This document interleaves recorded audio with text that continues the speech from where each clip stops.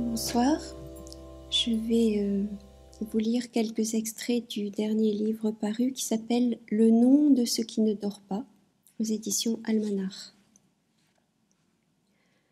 Mon nom est oubli avec un petit E pour ne pas que le vent s'engouffre au fond de moi, me désordonne et me soulève. Ma mémoire a nom d'adige. J'ai déjà parlé dans un livre Ma parole était alors pleine de foudre et puissante ma pensée magique. J'avais ficelé ma crainte, mais continuellement s'agitaient en moi des choses imperceptibles, des insectes, de brefs barbelés remués par le vent, des silences inclassables, une réalité hybride où la joie le disputait au chagrin continuellement revenait en moi un petit carrefour triste à Colmar, très loin d'ici, avec un tas de bois sous la neige. Je ne dors pas, je tourne et me désole. J'écoute le fleuve noir, noir la nuit et noir le jour, enrouler les buissons épineux dans sa langue, au bord des rives limoneuses, les ployer, leur faire rendre gorge. J'écoute le fleuve noir, noir la nuit et noir le jour, pour connaître le nom de ce qui ne dort pas.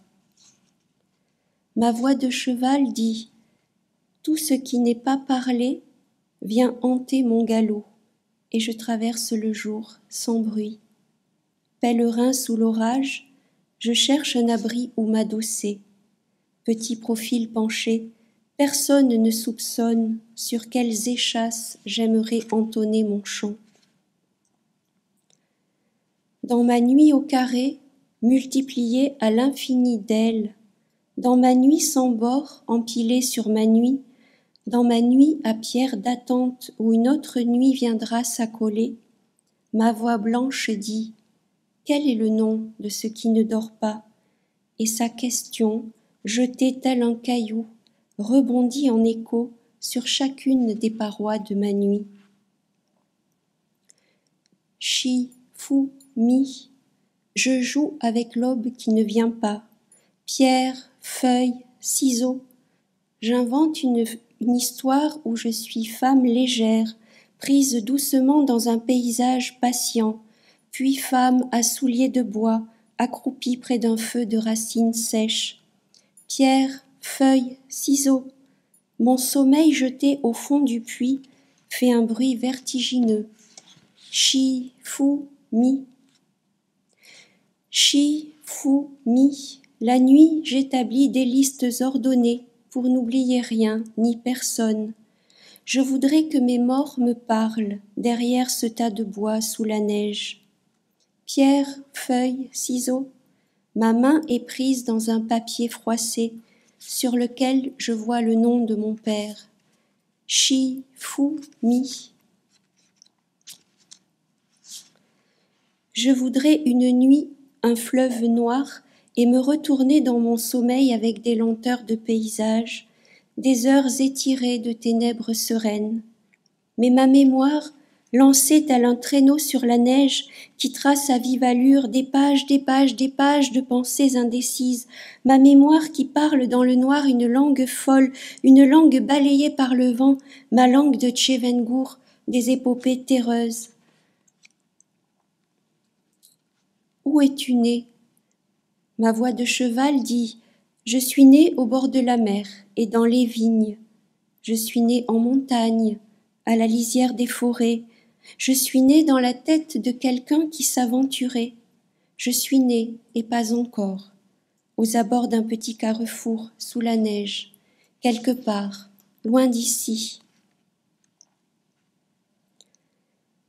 Que manque-t-il à mon courage pour changer en verger ce qui ne dort pas? Ma voix de contrebande dit Grelin, grelot, combien j'ai de pierres dans mon sac beau. Tu comptes les pierres, les moutons, les heures, les années. Cesse donc d'ébruiter les secrets qui n'ont pas de nom. Jamais tu ne sauras quoi, ni qui, sous ce tas de bois, à Colmar et sous la neige. Ma nuit est une vertigineuse construction de paille et de boue, et je ne peux pas allumer de bougie de crainte de me retrouver soudain au cœur d'un incendie. Au mi-temps de ma nuit de paille, dans l'obscurité menaçante, j'entends des voix frêles. Ma chandelle est morte, ouvre-moi ta porte pour l'amour.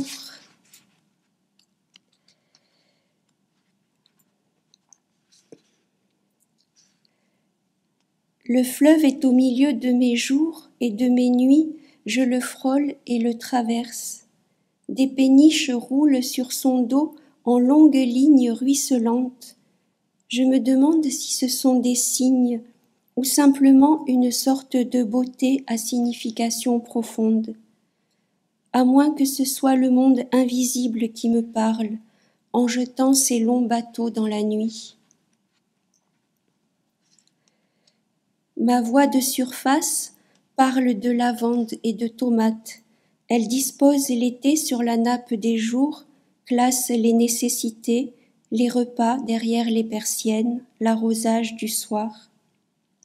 Ma voix secrète du bord du fleuve, ma voix de nuit féconde le désordre, les ruisselets renouvelés de la mémoire, le buisson qui abrite le vent, la caille et la perdrix.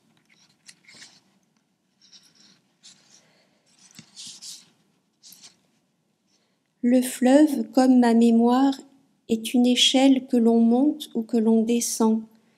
Il prend appui sur la nuit et se lit dans les deux sens.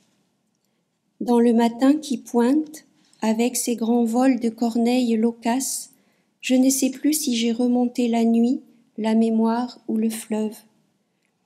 Ce qui prend sa source sur mon plateau d'Adige, ce que le vent agite dans les herbes interminables, c'est la voix de mon père, divisée en corneilles.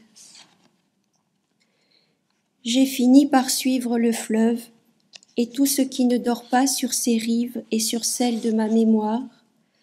J'ai fini par arriver à la mer avec toutes les voix confuses à l'intérieur de moi et le nom transparent de mon père qui commençait à s'ébruiter. C'était à nouveau l'hiver, et le village tout au bout semblait inhabité. Dans l'église blanche, j'ai allumé des bougies rouges.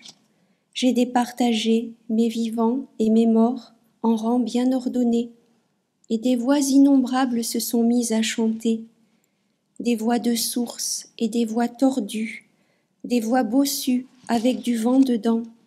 Chanter aussi les torrents et les rivières descendus de mon plateau herbeux, chanter mon adige, le petit tas de bois sous la neige à Colmar et les corneilles loquaces du matin.